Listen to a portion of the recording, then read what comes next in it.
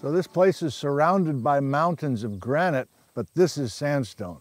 Those rocks are actually made out of the same minerals, so it is difficult to tell the difference between granite and sandstone. How are you supposed to do it? Here's one way. Take a rock hammer, wail on the outcrop. That soft thud sound is a sandstone sound. That's a sedimentary sound. As opposed to a granite from nearby Mount Stuart that has a ting to it. This is a harder rock. It's an igneous rock. So can I show you the details of the minerals? Even though the minerals are the same in a granite and a sandstone, here's what the minerals look like inside of a granite.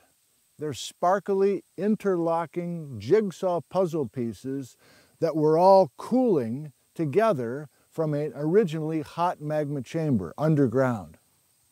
The sandstone's different. Same minerals, quartz, feldspar, and mica, but there's far less sparkly, there's individual sand grains that are loosely held together. That's why the soft thud sound.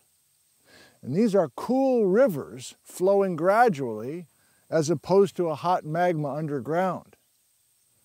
But is all of the sandstone the same grain size?